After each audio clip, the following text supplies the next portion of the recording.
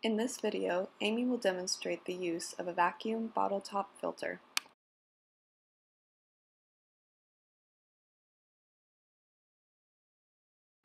Currently, Amy is making a growth medium with 10% heat inactivated FBS in RPMI.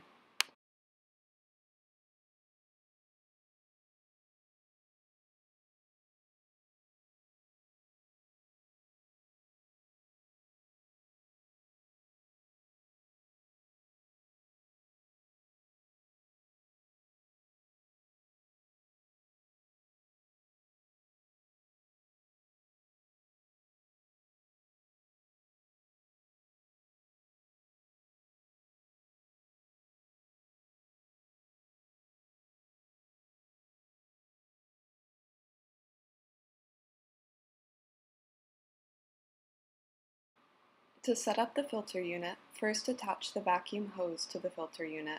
Then, turn on the vacuum pump by pushing the switch up on the back of the unit. You may then add your solution to the top reservoir of the filter unit.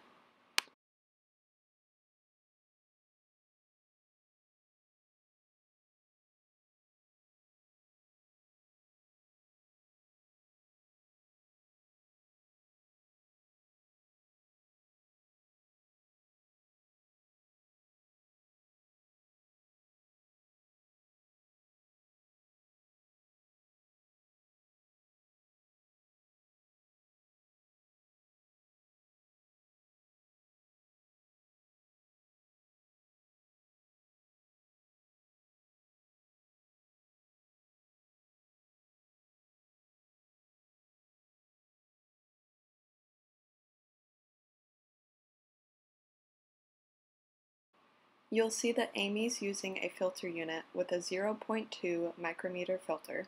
It's important to check the filter pore size prior to use.